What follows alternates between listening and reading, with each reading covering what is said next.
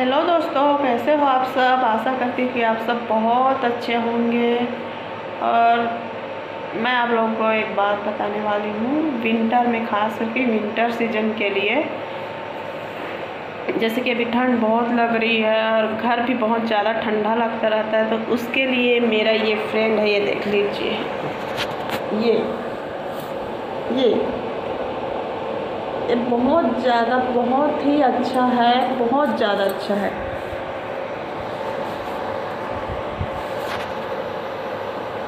Winter के लिए, ठंडी के लिए ना, इसमें इतना ताप आ रहा है कि मैं बता नहीं सकती। बहुत ज़्यादा आ रहा है। इसके सामने बैठे रहोगे ना तो बिल्कुल भी ठंड का एहसास नहीं होगा कि ठंड लग रहा है कि क्या।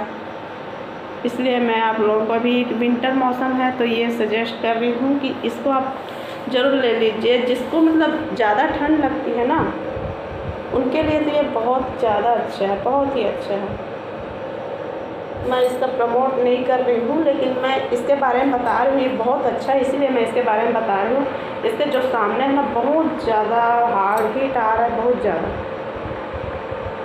देख लीजिए, मैं जब भी मैं ब्रश करके आती हूँ, नहा कर आती हूँ तो इसी के सामने थोड़ा बैठ जाती हूँ, बहुत ज़्यादा अच्छा लगता है। अगर आप लोगों को पसंद आए तो इसको आप लोग परचेस कर सकते हो। और ये कुछ ज़्यादा नहीं मिलता है, बस दो हज़ार में आ जाता है। ऑनलाइन मंगाई थी मैं इसको। रूम हीटर है इसका नाम। विंटर फ्रेंड रूम हीटर मेरा। तो बस यही शेयर करने वाली थी मैं आप सबको।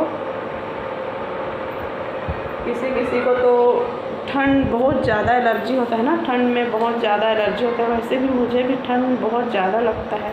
जब भी विंटर सीज़न आता है तो ठंडी बहुत लगती है मेरे को। तो इसलिए मैंने इसको मतलब इस साल का नहीं मतलब पिछले साल इसको मंगाई थी मैं। और इधर देख लीजिए, मेरा ये मिक्सी ख़राब हो गया है। और उधर नया जो चावल है ना, उसी का आटे पिसवा कर लाई हूँ मैं। और इधर देख लीजिए, दो ठो दिख रहे हैं ना कुमड़ा, उसका मैं बड़ी बनाने वाली हूँ अभी। ये, अभी थोड़ा सा बदली बदली लग रहा है, इसीलिए अभी नहीं बना रही हूँ। बट इसका मैं बनाऊँगी, उसका भी आप लोगों को वीडियो बनाऊँ बता कर दिखाऊँगी। तो चलिए फ्रेंड रखती हूँ और मैं आज बनाने वाली हूँ सब्ज़ी में। ये मूली का भाजी मतलब मूली साग बोलते हैं नहीं? हम लोग छत्तीसगढ़ी में इसको जो भी पत्ते वाली सब्ज़ियाँ होती हैं ना, उसको भाजी बोलते हैं। तो रियल में तो साग ही बोला जाता है, इसलिए मैं इसी का साग बनाने वाली हूँ। और दाल? तो बहुत दिनों के बाद मैं वीडियो बना रही हूँ दोस्तों। इसीलिए थोड़ा सा अजीब टाइप सा फील हो रहा है, लेकिन मैं कोशिश करूँगी कि मैं वीडियो बनाऊँगी।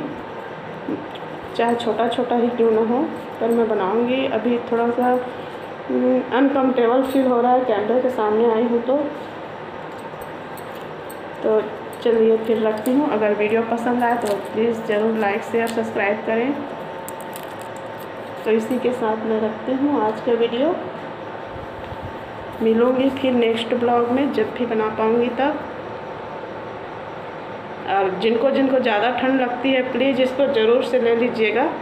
बहुत ही अच्छा है, बहुत ज़्यादा अच्छा है। जितना पैसा मतलब ख़रीदे रहोगे ना तो उससे कहीं ज़्यादा अच्छा लगेगा ये। चलिए ठीक है फिर।